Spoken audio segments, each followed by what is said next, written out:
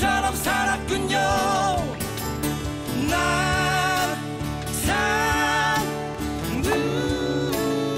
친구들이 아마 저길 거예요. 저 백호 형님이 무소속 프로젝트라고 거기서 아마 대상을 받아 나랬을 거예요.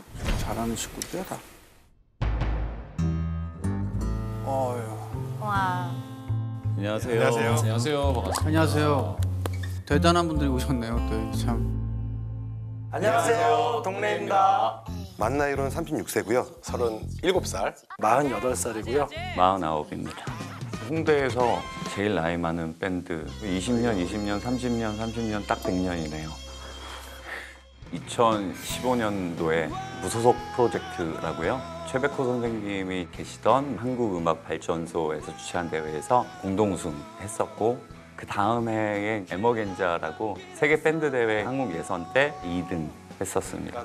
100%를 보여드리고 싶고요. 저 높은 곳을 향하여 빛을 발하겠습니다. 어느 날 난 낙엽 지는 소리에 갑자기 텅 빈 내 마음을 보았죠 그냥 덧없이 흘러버린 그런 세월을 느낀 거죠. 잃어버린 것이 아닐까. 늦어버린 것이 아닐까. 흘러버린 세월을 찾을 수만 있다면 얼마나 좋을까 좋을까. 난 참 바보처럼 살았군요. 난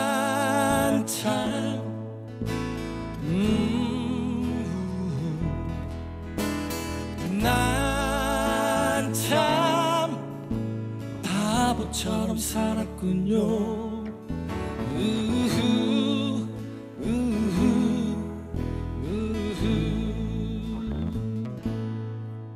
바보처럼 바보처럼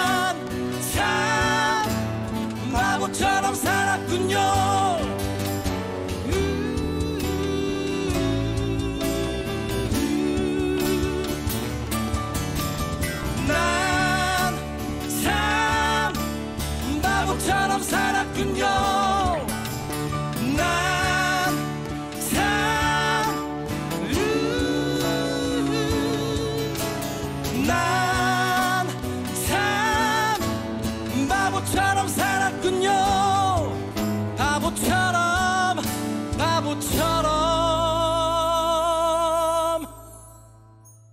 난참 바보처럼 살았군요.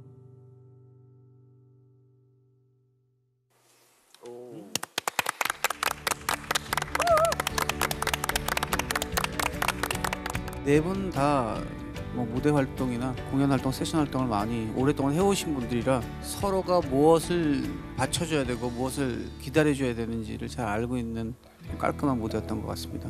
내공이 뭐 더할 나위 없이 너무나도 잘 느껴지는 무대였고 저는 되게 행복하게 음악을 들었던 것 같습니다. 네. 감사합니다. 이런 음악이 요즘에 좀 많이 필요한 것 같아요. 언젠가부터 뭐 이렇게 하모니나 앙상블이 돋보일 수 있는 음악들이 많이 없어지고 있는 것 같은데 이런 앙상블이 좀 모범이 되지 않을까라는 생각이 들었습니다. 하모니도 너무 좋고 조금 예전 노래이기는 하지만 오히려 더 새롭게 느껴지지 않을까라는 생각이 들었어요. 또 반대로 또 반대로 이런 음악을 잘 모르는 젊은 시청자분들한테 어떤 매력을 어필하실 수 있을지가 조금 걱정도 되고 기대도 되는 팀입니다. 사실 앙상블이 가는 힘이라는 건 여러 사람이 하나로 뭔가를 맞출 때의 그 숭고함이라고 할까?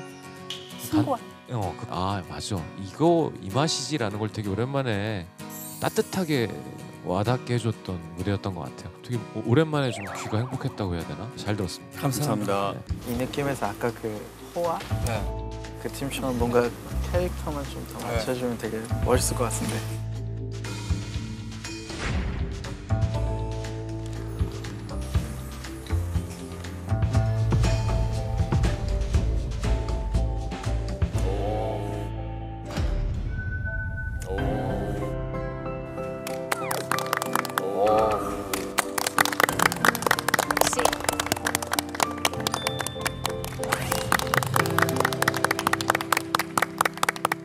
감사합니다. 감사합니다. 네.